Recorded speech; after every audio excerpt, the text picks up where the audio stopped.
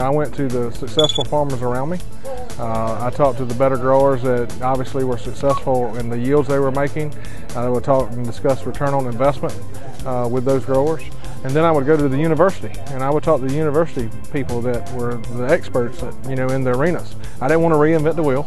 I wanted to start out with a good platform. And then I quickly found that even the researchers at the university level and those farmers that were successful were, you know, kind of in a rut. They were doing things the way they've always done them. So you know, I took that foundation and I started trying new things and, you know, trying to be a student of the crop and understand how to increase yields more and more. And I've been fairly successful doing that.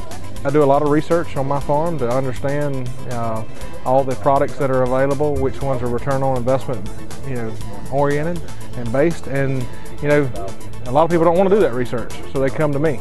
And then I've had the success, and what better person to talk to uh, about how to grow corn and make 350 bushels. Most crop consultants haven't made 350 bushels, and most universities haven't made 350 bushels. And you know, I'm thankful for that um, opportunity.